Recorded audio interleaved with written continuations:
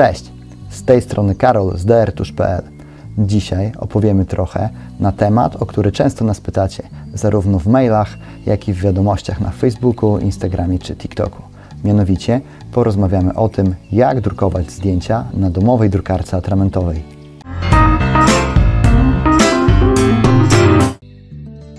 Fotografia cyfrowa zrewolucjonizowała świat, ale sprawiła, że domowe albumy fotograficzne, które tak miło wszyscy chętnie wspominamy, powoli odchodzą do lamusa. Ale nic nie stoi na przeszkodzie, abyśmy sobie taki album, zrobiony własnoręcznie, przygotowali. Co do tego potrzeba? Przede wszystkim potrzebna będzie drukarka atramentowa. Do drukowania zdjęć w domowych warunkach zawsze polecamy kolorowe drukarki atramentowe. Laserówki zazwyczaj są monochromatyczne, a co za tym idzie, nie wydrukują nam zdjęć o żywych barwach.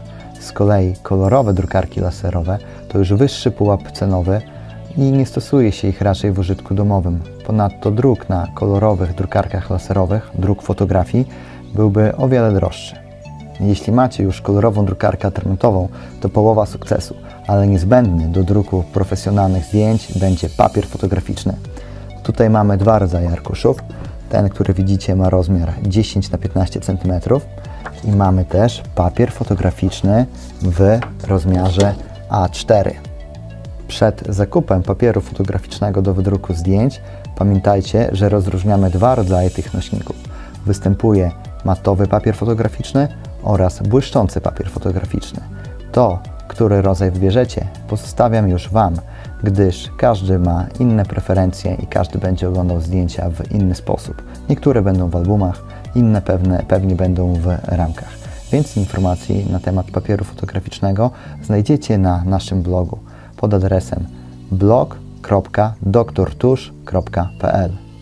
Zanim zaczniecie drukować zdjęcia w domowych warunkach, upewnijcie się, że macie wystarczający poziom tuszu w drukarce. Dobra wiadomość jest taka, że na zamiennikach tuszów również możecie drukować zdjęcia, a zamienniki znajdziecie tradycyjnie na drtusz.pl, zawsze z darmową dostawą. Ponadto pamiętajcie, aby zajrzeć na stronę producenta drukarki i w specyfikacji technicznej sprawdzić, czy obsługuje ona papier fotograficzny. My pliki do wydruku mamy zapisane na dysku twardym naszego komputera, ale pamiętajcie, że większość nowoczesnych drukarek atramentowych, również tych z niższej półki cenowej, jest wyposażonych w moduł Wi-Fi. A co za tym idzie? Instalując aplikację od producenta, możecie bez problemu drukować zdjęcia z pamięci telefonu, bezpośrednio na drukarkę, nie używając przy tym komputera. Skoro drukarka jest już gotowa, macie papier fotograficzny, na którym będziecie drukować i pliki, które chcecie wydrukować, to przechodzimy do działania. My mamy tutaj folder do wywołania. Ja wydrukuję zdjęcie moich koleżanek z wizyty w schronisku. Tutaj pojawiają się takie trzy kropeczki. Klikamy, rozwijają się opcje. Mamy tutaj opcję drukuj.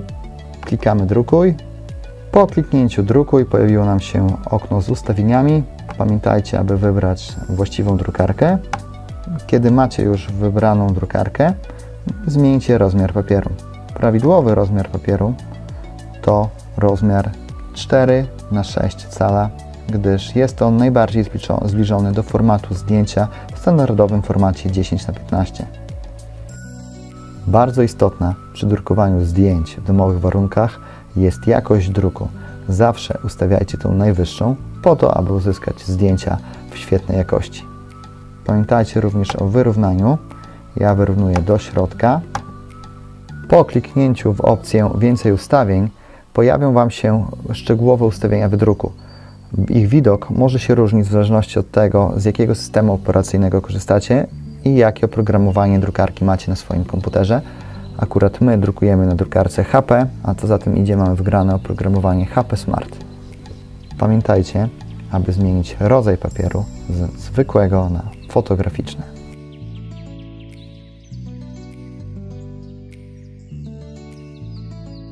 Pamiętajcie, aby przed drukowaniem zdjęć zadbać o właściwe ustawienia drukarki. Nie mówię tu tylko o ustawieniach w oprogramowaniu, które jest na komputerze czy też na smartfonie, jeśli korzystacie z aplikacji, ale o właściwym przygotowaniu podajnika drukarki. W przypadku drukarki HPS serii 3700 Podajnik ma wyskalowaną miarkę z takimi przedziałkami, według których umieszczamy tutaj arkusz w formacie 10 na 15 W przypadku bardziej zaawansowanych e, drukarek atramentowych z reguły podajnik jest regulowany. Jest tutaj taki mechanizm, który należy przystosować do rodzaju papieru, zanim klikniemy przycisk drukuj. Drukowanie kolorowych fotografii zajmuje trochę więcej czasu niż drukowanie jakichkolwiek innych dokumentów. Dlatego należy uzbroić się w chwilę cierpliwości, aby już po chwili cieszyć się finalnym efektem zdjęcia wydrukowanego w domu na własnej drukarce. A co zrobić, jeśli chcemy wydrukować kilka zdjęć o różnych rozmiarach na jednym arkuszu fotograficznym o rozmiarze A4? Teraz Wam pokażemy. Wchodzimy do folderu, gdzie mamy zdjęcia. Ja tutaj zaznaczę dwie fotografie. Mamy zaznaczone już zdjęcia, które chcemy wydrukować. Klikamy prawym myszy i wybieramy opcję Drukuj. Wyświetli nam się okno ustawień w druku. Tutaj po prawej stronie widzimy różne opcje, z których możemy skorzystać. Możemy wydrukować fotografię, załóżmy w formacie 13 na 18 cm i zmieszczą się dwie. Możemy wydrukować jedną dużą fotografię, a możemy na przykład wydrukować te dwa zdjęcia w formacie 10 na 15. W zależności od tego, ile fotografii zaznaczymy, oprogramowanie podpowie nam, jakie mamy możliwości zmieszczenia ich na jednym arkuszu papieru. Jesteśmy gotowi? No to umieszczamy arkusz papieru fotograficznego błyszczącego w podajniku drukarki. Pamiętajcie o tym, aby umieścić go właściwą stroną. I klikamy drukuj. I tak oto mamy dwie fotografie w rozmiarze 10 na 15 wydrukowane na jednym arkuszu papieru fotograficznego w rozmiarze A4. Teraz możemy je wyciąć, aby lepiej pasowały do ramki albo naszego albumu, w którym chcemy je umieścić. Jak mówiliśmy, drukowanie zdjęć to mega prosta sprawa, co też widzicie na naszym dzisiejszym filmie. Jeśli potrzebujecie drukarki atramentowej lub tuszu do drukowania zdjęć, zapraszam Was na drtusz.pl. Znajdziecie tam zarówno drukarki atramentowe, które nadają się również do drukowania fotografii w domu, jak i zamienniki tuszów i tonerów, dzięki którym stworzenie domowego albumu fotograficznego nie pochłonie fortuny. Chcecie zobaczyć więcej drukarkowych filmików? Dajcie suba. Regularnie uzupełniamy nasz kanał o nowe produkcje. Zachęcamy też do odwiedzania nas na drtusz.pl, a także do śledzenia naszego bloga pod adresem blog.doktortusz.pl.